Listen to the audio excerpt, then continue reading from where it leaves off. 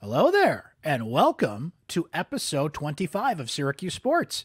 My name is Brent Axe. I'll be your host for the evening.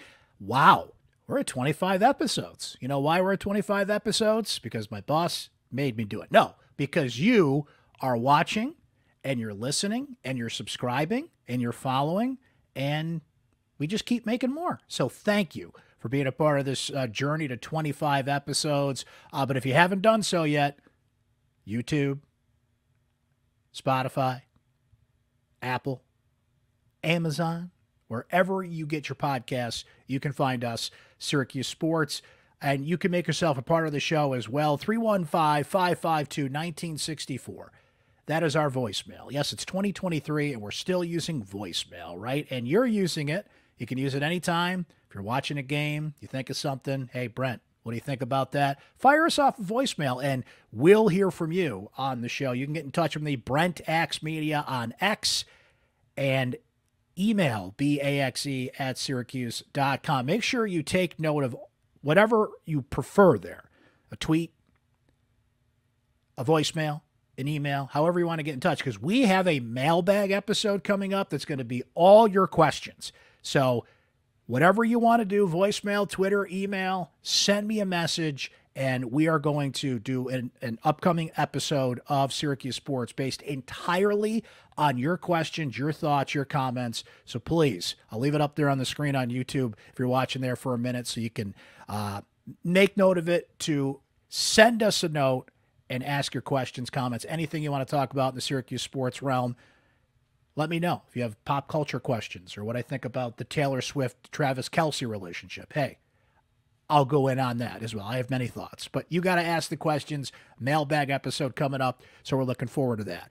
I'm looking forward to you hearing this conversation with David Hale, who is our guest today. David is a terrific sports writer for ESPN. He's a Syracuse alum, and I, I'm going to phrase it this way because this is what I think of when I think of David Hale. He is, I think, one of the most unique sports writers out there. His approach, his humor, his pop culture references, a lot of Simpsons references if you're a fan of The Simpsons. But there are so many times that David Hale will send one tweet, one meme, one Simpsons quote. He'll unearth some unique stat and it just comes into focus. And it's something you probably haven't seen elsewhere. And I just really appreciate and love his perspective on things. David and Andrea Adelson at ESPN have a focus on the ACC. They actually have a show on the ACC network. It's called All ACC. You can see it various times on the ACC network. Tuesdays at 7 is when it debuts. You can see the clips on social media as well. Of course, read their work on ESPN.com. But yeah, David is just somebody I've really enjoyed following over the years. I would have him on my radio show a lot. We text once in a while off the air, if you will. He's been a helpful resource for me. I've just had questions about certain things. Like David would know that. He's a terrific dude, and I got to give David a lot of credit today. He he was playing hurt. He was not feeling well, but he's like, "Nope, let's do it. Let's rock and roll." His chair's breaking halfway through the interview. It's just, as he put it, it's like when you interview David Hale, like some kind of Dick Van Dyke show type of thing has to happen. So we had a lot of fun. I think you'll enjoy the conversation, particularly, you know, if you're somebody that feels like Syracuse football has to make a coaching change, right? And you're certainly entitled to that opinion. Well, what does that mean? What is your plan to follow that up? Is there a Jeff Brohm out there? Because Louisville always wanted a guy like Jeff Brohm, right? So Syracuse does choose to move on. Well, what's the plan after that? David and I have held this opinion for a long time. It's easy to say, it's easy to tweet, but what's your plan? Are you confident that Syracuse would have the plan to follow that up? We talk NIL, Cal, Stanford, SMU being added to the ACC. What does that really mean? What did they really accomplish with all that? Let's hear it from the man himself, David Hale. Okay, look, first thing off the bat, we did not coordinate these outfits. For those of you that are watching on YouTube, okay, you can clearly see David is an Eagles fan. He's going top to bottom green. I just happened to pick this shirt today. It's not even close to St. Patrick's Day or, or anything of that nature, but uh, go birds, I guess, David. Uh, after that Jets game, I think we need all the positive vibes we can get. So, um, you know, I blame uh, Taylor Swift somehow for all this. So. that's that's the easy thing to do these days. Just circle back to Taylor Swift, and uh, I'm going to put Taylor Swift on the headline of this podcast just to uh, get Okay, get the Swift that's smart, yeah. traffic. Yeah, come on, Yeah, you got yeah. it these days, right? Well, I Hashtag appreciate Tay Tay. Hashtag Tay Tay. Yep, there you go, my friend.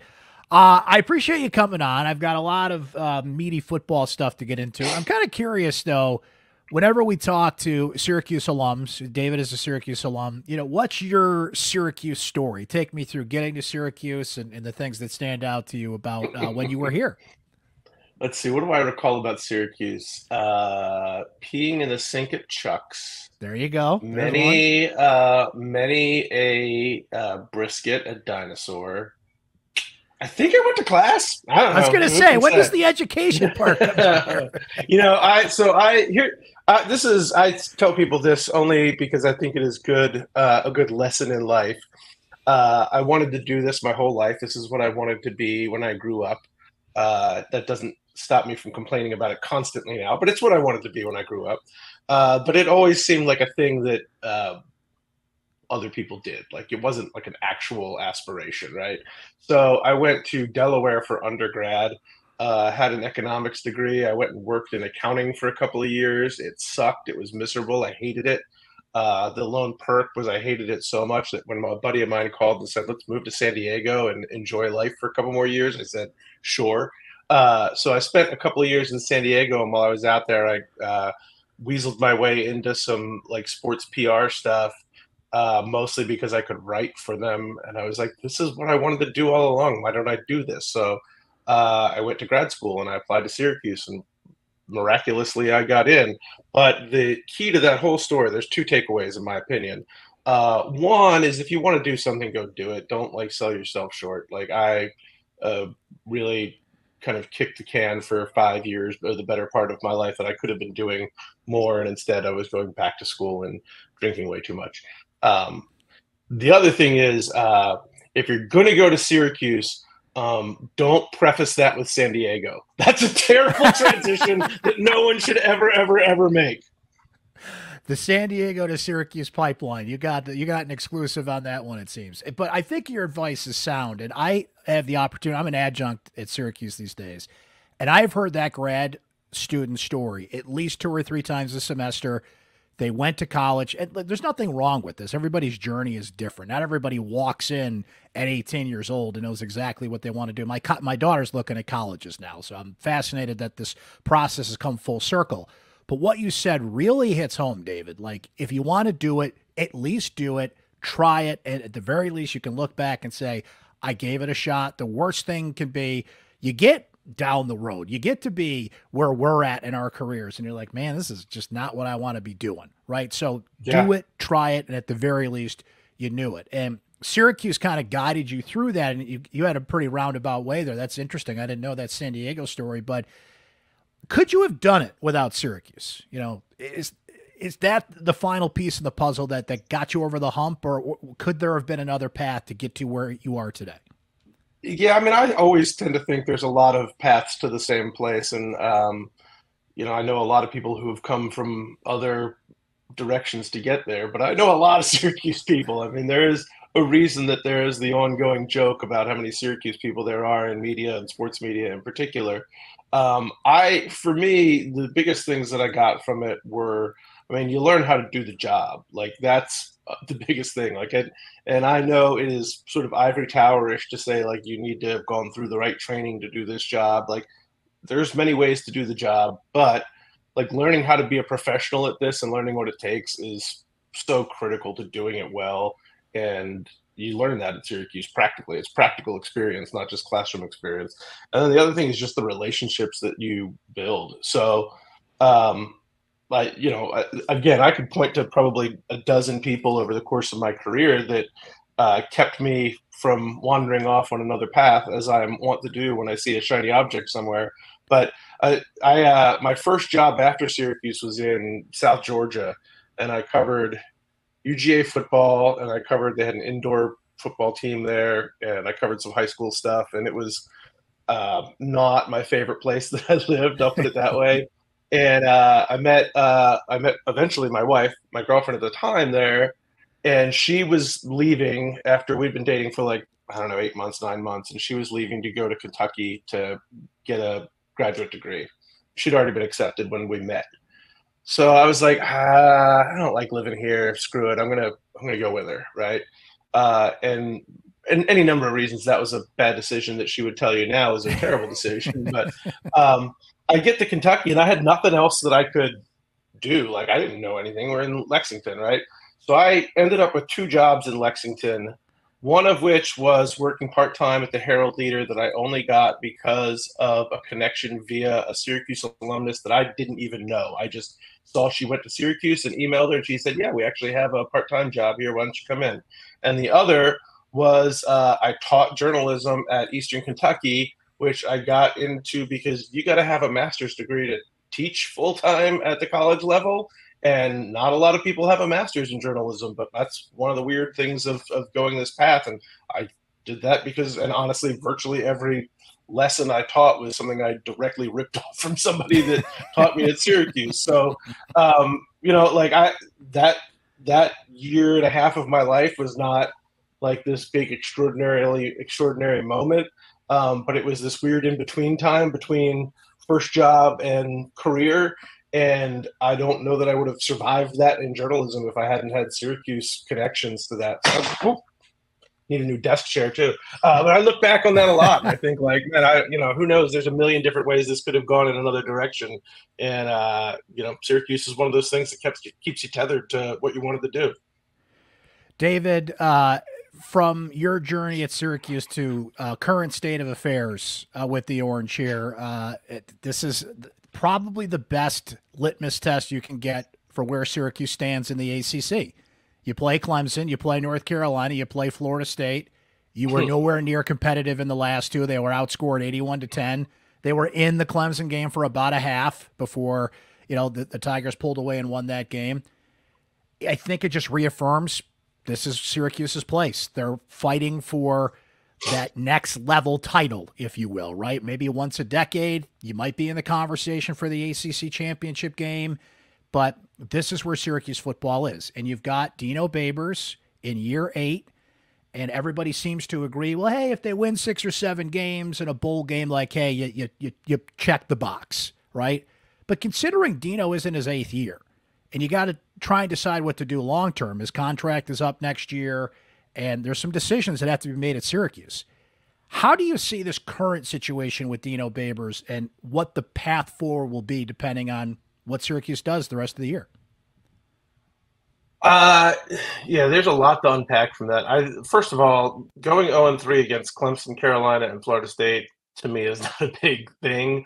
But coming off of the way that last year went down the stretch, and you look at that those last two games of these that three game stretch were not competitive uh, you wonder psychologically where the locker room is. Like are you is, are people throwing up their hands and saying well here we are again. And that's that's a big risk when you have those two kind of narratives back to back like this. Um, but i have said for a long time that dino's a good fit at syracuse. Dino gives syracuse i think a chance to be better than terrible most years and occasionally great uh, or occasionally very very good. They give you he gives you a puncher's chance in most games which if you're syracuse is probably a good place to be and not a, i mean I, I saw somebody on twitter the other day posted a picture of a uh, post standard story about uh, like paul pasqualoni at a crossroads from 20 years ago. Where do we go from here? And you know, Paul had a nice little career at Syracuse, sure. and then it was like, well, six and seven season, get blown out in a bowl game by Georgia Tech, time to move on. And where did that go? Yeah, uh, that I would argue that a decade later, Syracuse was still trying to figure its way back out of that hole. So, uh, you know, I, I I understand the um, desire to occasionally look at where Syracuse is and say, couldn't we be more? Like, is staying staying the same a good thing? And I, I think you can make the case either way. But I, I will say, Dino, I don't know if he got himself in trouble, but he certainly created a little bit of waves last week talking about depth and NIL and the portal and all of that. And here's the thing he's not wrong. Like, they had three defensive starters who are playing at other Power Five schools right now. On one hand, that's a huge credit to Dino Babers in identifying talent on the recruiting path that uh, he's getting into Syracuse. But keeping that talent in this era at a place like Syracuse becomes next to impossible. And that was a really good, talented team last year with Sean Tucker and Matthew Bergeron and those guys on offense. I mean, look, this year they they lose Tucker, who's probably one of the best running backs they've had in a while. You have those three transfers from defense. You put a couple of guys in the league, including Bergeron. Uh, Oronde Gadsden gets early, hurt. Yeah. Like Syracuse is not a program that can withstand all of that. And so you've got to do one of two things. If you're going to move on – you move on and have a plan for moving on, not just move on because Dino ain't getting it done anymore. And whether you move on or stay with Dino, I think there's got to be a different approach to investment in this program because I just don't think it is um, sustainable for anyone. But Syracuse is a great example in the in the modern era to say like, look at it, man, we're getting talent from the from the recruiting ranks, which is a hard enough job at a place like Syracuse. But if we can't keep it, if we can't keep our assistant coaches who leave for other assistant coach jobs somewhere, like that's a huge problem. And, and, to me, that has nothing to do with Dino, man. That's just the infrastructure of college sports today and being in a place like Syracuse. I think you hit the nail on the head in a couple of ways. One, you know, let me just circle back to the players you were talking about the grass isn't always greener, right? Those players, like Deuce Chestnut, we don't even know if he's on the roster at LSU right now. Ja'Had Carter barely plays at Ohio State, so yeah, maybe you got a little money and the opportunity to play. The leading rusher in the ACC right now left Syracuse because he was behind Sean Tucker. It wasn't one of those cases where he wasn't going to play or, you know, the grass is greener. He just he had an NFL level running back ahead of him. So I get the frustration from Dino there. As you said, he's not wrong to express that. And in this case, it wasn't a player that got bought away, it was a player that was sitting behind another NFL level talent. They can get the talent. The, the challenge is keeping them. And again, is that Dino's fault where they're at NIL wise and facility wise and, and all those conversations? I think you hit another good point there about how much of this is Dino versus the current structure at Syracuse. Like they were just trumpeting the new Lally complex, which is under construction and it's look, it's great congratulations to catching up to the rest of the league, right? You were 10 yeah, to 15 years yeah. behind on that. And of course, the ever growing NIL conversation, which we'll get into here in a moment. So that leads me to this. Let's say for some reason they're not satisfied with what happens. They go six and six and they move on. In a world where I understand that Deion's the extreme example, but Deion Sanders can infuse the energy he did at Colorado, Jeff Brohm at Louisville, Mike Elko at Duke. Like it can be done, David. So, what kind of job is Syracuse in the here and now if it becomes available? Again, I think 90% of the battle is having a plan, understanding how you want to build that path. So, uh, you, you, just mentioned three guys, but I think they're three very different situations. Like Jeff Brohm is the guy Louisville wanted for forever. And the entire team's fan base was saying, we need this guy. So that was a good sell to the fan base, an easy way to gin up enthusiasm and dollars. Deion is a complete outsider who you basically bought to headline your movie. You know, that is just getting a big star and putting him into a script that you don't know if it's actually any good, but you've got a big star, so that's going to put butts in seats. Um, Elko was not a sexy hire at all. Nobody paid much attention to it until he went out and wins nine games his first year and knocks off Clemson in the opener this year. And now that's a different story. And you realize looking back, like, boy, he really is a good fit there. And I wouldn't have thought that. Um, you know, I, I, there's not a one size fits all answer here, but I also look at it and you say, like, who is the the big star? I don't know that there is another Deion, and frankly, I think you're going to start to see diminishing returns to Deion's stardom if it doesn't lead to something more. Uh, I don't think there is that guy. I mean, unless you want to go out and hire Donovan McNabb to coach your team at Syracuse, like I don't know who that guy is at Syracuse. It's the Jeff Brohm of Syracuse.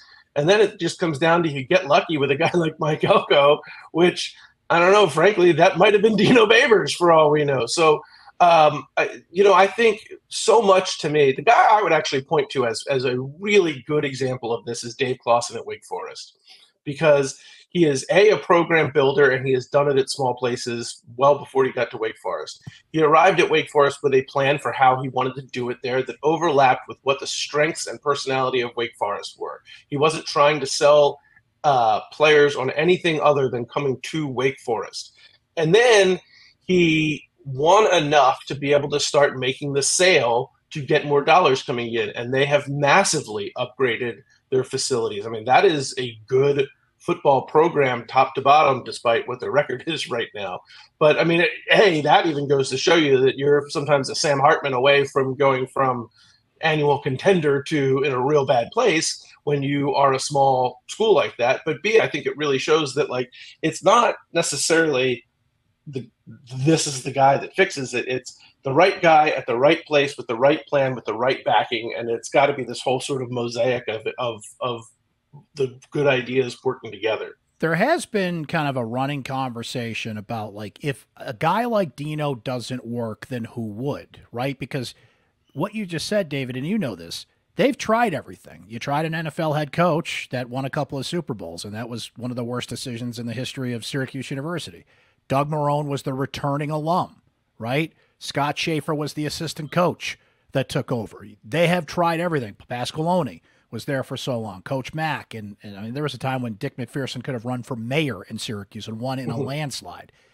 I can't think of a scenario they haven't tried. So if you're moving on from Dino, look, Dino's 63 years old. It's going to happen sometime soon. I mean, he's he's in great shape for uh, 63 years old, and uh, I'm not saying like he's on the backside of his of his life here, but you got to think about that that kind of thing and the energy and what it takes to be a college football head coach. That comment you brought up about NIL, I mean, that was as bitter as I've heard Dino. Like, I think he's starting to see, you know, the forest through the trees here and how difficult it is to win and, and do things at Syracuse. But if a coach like Dino doesn't work, then you really start to think who could. And here's a, another scenario, David, where it's not even about Dino. Like, is Syracuse going to, there's not some secret fund of you know, a Scrooge mm. McDuck bank they're going to go to. Like Syracuse pays what it pays. It's not like they're going to, you know, all of a sudden swoop in and be like, "All right, we got 12 million a year to spend on this thing." So, you hate to say if Dino doesn't work, nobody will, but it, in some ways it, it, it feels like that's the kind of path you have to go down. That kind of coach. I yeah, I mean, I, it is like the, the beauty of hiring Dino when they hired him was it's something different in a place that needs to win differently. I mean, it was almost sort of like Georgia Tech hiring Paul Johnson. I mean, the opposite of that aesthetically, but the idea was the same of like we can't play the way everybody else is playing. We're not going to out Clemson Clemson. Um, and I think to Dino's credit, he has adjusted every year to what he had around him. He has not tried to force the Dino Babers system onto the wrong set of guys. I, again, I, I, you can go back and, and the numbers are the numbers. At the end of the day, people are judged by wins and losses. I think Dino's done a hell of a job at Syracuse for the most part, and there's years where things kind of went off the rails, and a lot of that was COVID, and and a lot of this is stuff beyond his control. Um, so you know, it is. It's it's a grass ain't always greener situation, as you said.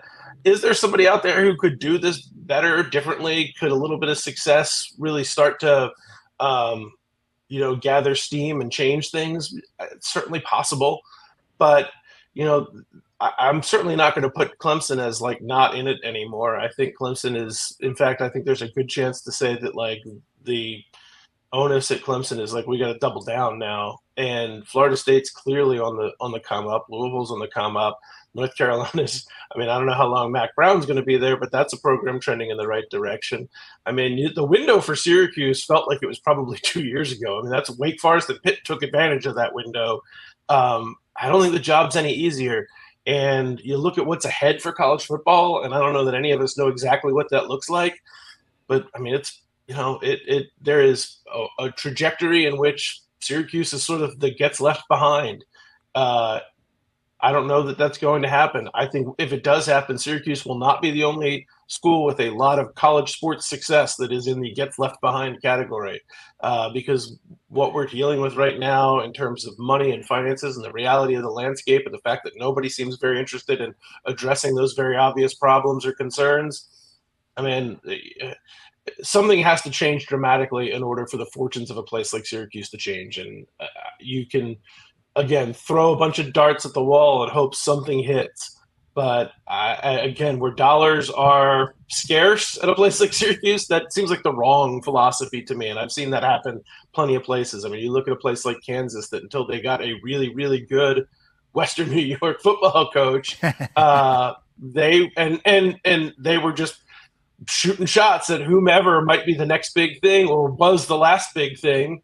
And frankly, you know, I, Lance Leipold's a really damn good head coach, but he's not had a winning season at Kansas yet. We'll see how this year ends. I mean, it's not like he's turned that program into something that Syracuse isn't already. So, uh, you know, I think perspective is everything, and um, there's a lot of market forces working against Syracuse, no matter who the coach is.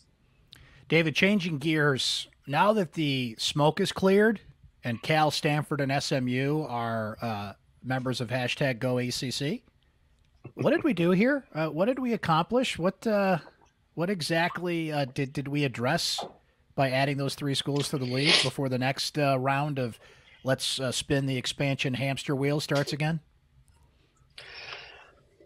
Damned if I know. Um, look, they're going to give you the spin of great academic schools with a rich history and big investors and blah blah blah.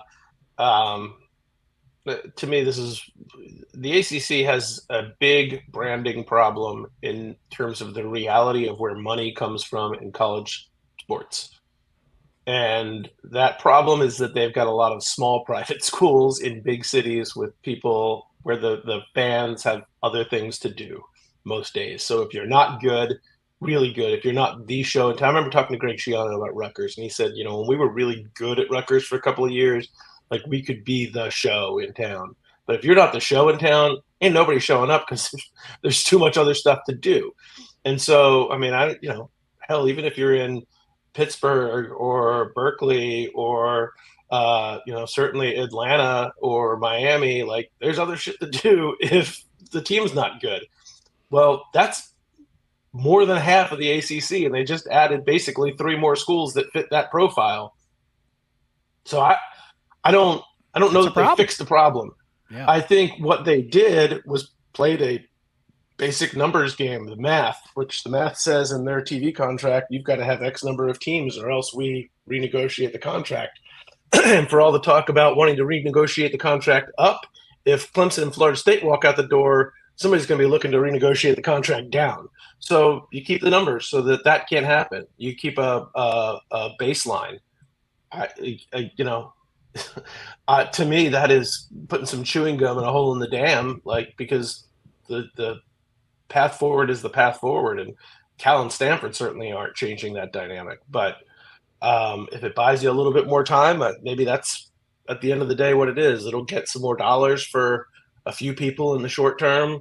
I don't think it has any impact on the thinking that Florida State or Clemson or anybody else might have about what their future is. I, I you know, to me, it's a move to say you made a move. And frankly, and I don't put this at the feet of Jim Phillips, who I think wanted to be aggressive in this in this space before his presidents were, but he is a he is beholden to the presidents of, of these universities who frankly what ultimately sold I think the most of them was like these are good academic schools. Yeah.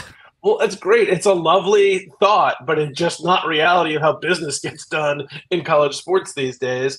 Uh, and so they probably should have been chasing expansion with other programs three years ago. And instead, you know, they're getting the bottom of the barrel basically of what was left of the Pac 12. Last one for you, David. I don't have the answer to how to regulate NIL, but I do know this. I didn't get the answers at that congressional hearing this week. And I think if you're turning to Congress to fix your problem in this area, uh, that's the wrong move to start with here. And hearing what some of those senators and congressmen Unreal. said about college sports. Uh, Joe Manchin in West Virginia, by the way, should know better given the heart of what college sports is in that state. That I know is not the answer. So when I've got smart people who I think run their leagues well, like Greg Sankey, and conference commissioners and athletic directors – saying that regulation from Congress is the answer, I just laugh. I know that's not the answer, but is there one out there? Um, I it's so funny to me because two years ago there was this whole push, and I remember talking to Jim Phillips and Greg Sankey about it of like we need fewer rules, man. We need deregulation. We need to not have our fingerprints on everything. And now it's like they're trying to put the toothpaste back in the tube with that exactly. on so many levels. Um, no, I don't think there is. I mean, because there's never going to be. You can put all the first of all, you can put all the rules in place that you want. We've shown this in the NCAA. They can make up rules with the best of them. They can't enforce anything, uh, and so and it certainly isn't going to change behaviors. And even if they did enforce something, what it will be is not the big boys and not the coaches and not the people who are actually were responsible for doing bad things or breaking the rules it'll just be the next group of players who comes through who gets punished somehow. Uh, it's all you know. The the Tez Walker thing at UNC is just sort of poster child for how stupid all of this is.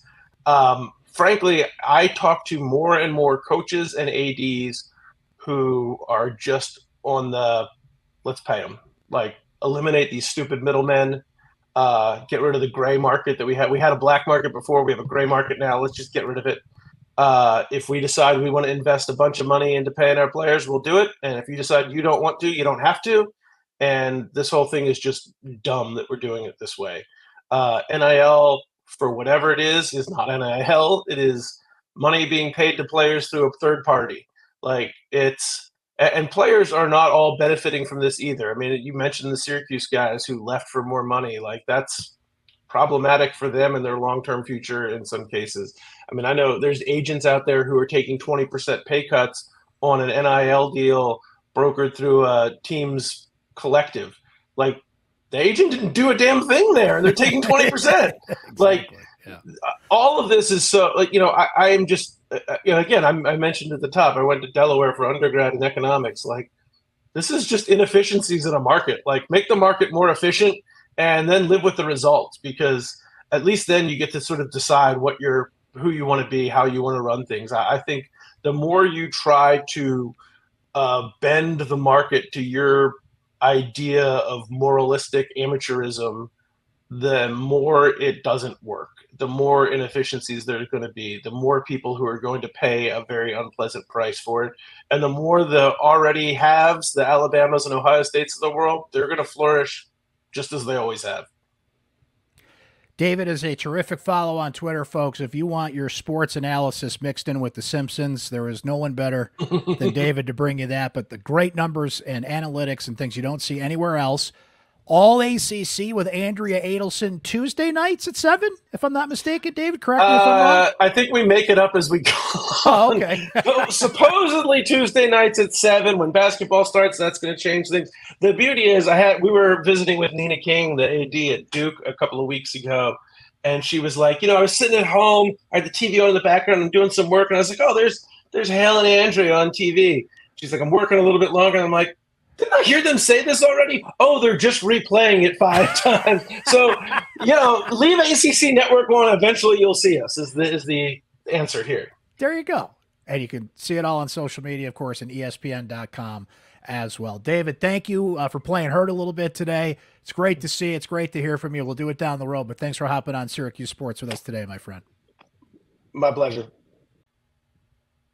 Our thanks again to David Hale from ESPN for joining us. Love that conversation with him, and I appreciate him playing hurt on the show today for sure. Just a reminder there is no Syracuse football post-game show this weekend with Emily Leiker and I because, well, there's no Syracuse football. They're going to enjoy their bye week, and then things really get interesting at Virginia Tech on a Thursday night. Boston College, first home game in over a month at the Dome to follow on a Friday night, and how Syracuse football does down the stretch. But uh, Emily and I have been doing the post game show live on Syracuse Orange Sports on YouTube, on Syracuse Orange Football on Syracuse.com, on Facebook. You can follow me on Twitter, Brent Axe Media as well, and the live post game show, which also is a podcast. Don't worry if you miss it live. It certainly can be found on all the places you listen to and watch this podcast. But obviously, we won't be doing one this weekend because Syracuse is off. But we will be doing a mailbag episode coming up. And Fire them off. What's on your mind? What do you want to know? What do you want to express? What do you want to talk about? The voicemail 315 552 1964. Hit me on Twitter, Brent Axe Media, or the email is BAXE at syracuse.com. An upcoming episode which is entirely devoted to your questions, your thoughts, what you want to know from me, or just things that you want to express. Let's hear from you, ladies and gentlemen. Upcoming episode of Syracuse Sports in all mailbag edition. Looking forward to that. Uh, please subscribe on all the places YouTube, Amazon, Spotify, Apple, wherever you get your podcasts, you can find us. We do thank you for watching and listening and being a part of this experience. Tell your friends. The community is growing. We love that you're a part of it, but we can be that much bigger. And we're kicking into overdrive, folks. Football's coming down the stretch. Basketball is just around the corner. If you missed our previous episode of Syracuse Sports, the best things I heard at Syracuse Basketball Media Day, you can find that in our podcast feed on YouTube. Go back and listen to some great sound bites from the Syracuse basketball team from their media day last week. Thanks for hanging with us here on Syracuse Sports, presented by Crouse Health, the exclusive healthcare provider for Syracuse Athletics. We'll talk to you next time, friends.